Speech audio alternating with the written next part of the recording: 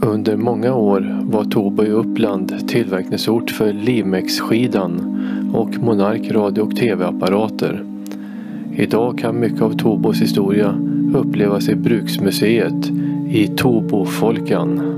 När jag var barn och jag vuxit upp i Hjorthagen i Stockholm så hade min farsa cykelsport och radioaffär. Och så jag hade lite koll på Limex-skidor och eh, jag visste att det var tillverkat i Tobo här.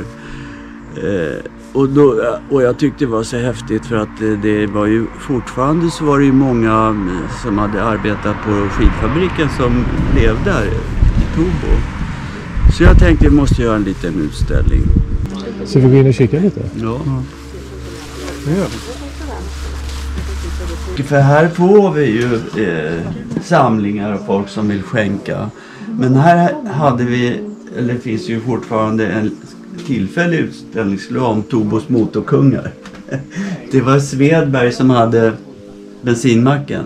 Alltså han åkte rally med Bryggan Andersson. Han var kartläsare. Och sen var man med någon av de här Söderströmskillarna också då.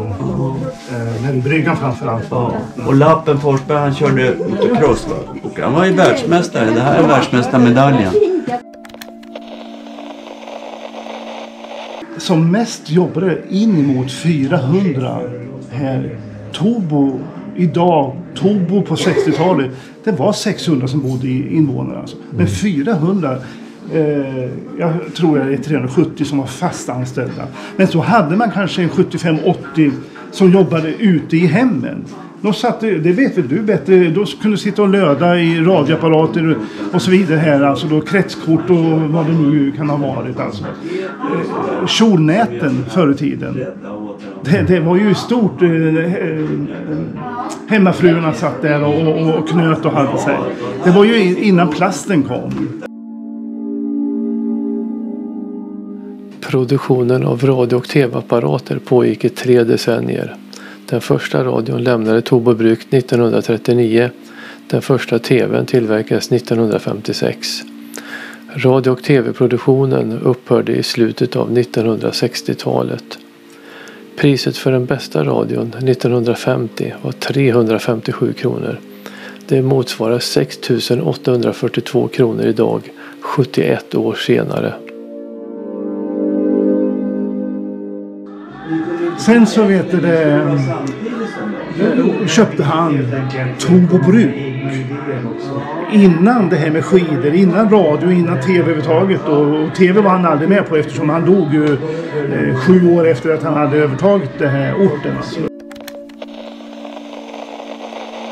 Sen var det ju massa förhandlingar. Sen fick han köpa det till ett eh, oerhört lågt pris. Officiellt pratar man om att han då på den tiden köpte hela Tobo bruk för 250 000. Det är ganska mycket pengar idag men det, det, det, det var på den tiden skrev tidningen om att det var oförskämt lågt egentligen. Det borde vara mer än två miljoner etc. etc. Men vad de glömmer bort då, de som också pratar om det, det är det här att han åtog sig att göra väldigt mycket. Han skulle ju börja modernisera arbetarbostäder med mera, med mera. Han skulle bygga ut så att de arbetslösa skulle komma tillbaka och kunna få arbete och näring. Och innan första året har gått till slut, då är det mer än hundra, eller säg runt hundra som är anställda här. Alltså. Märket som eh, Monarkfabriken hade med Nona, det är väl sån här fornnordiskt. Det var ju, var ju i början på förra seklet så var det ju stort intresse för vikingatid och Att det finns en historia bakom Tobo med honom. Och det var det att det fanns en överläkare i eh, Uppsala som mådde ganska illa av att se denna massarbetslöshet som drabbades gruvdöden som man pratar om i norra, norra Uppland. Inte bara Tobo utan norra Uppland. Lövstabruk, Gimo med mera, med mera. Och den här överläkaren tog kontakt med Birger Svensson om att hur situationen var. Och eh, han skulle kunna få förvärva eh, väldigt mycket för en bra peng.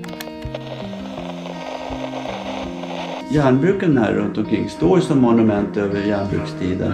Men Tobo har ju alltid varit verksamhet. Alltså, så att eh, när järnbruken la ner kring 1925 så var det en period, eh, tio år, alltså när det var lite arbetslöshet och eh, dystert där i Tobo. Men då kom Monark efter det. Och när Monark la ner sen så kom ju Munter så att det hela tiden var någonting som har hållit igång.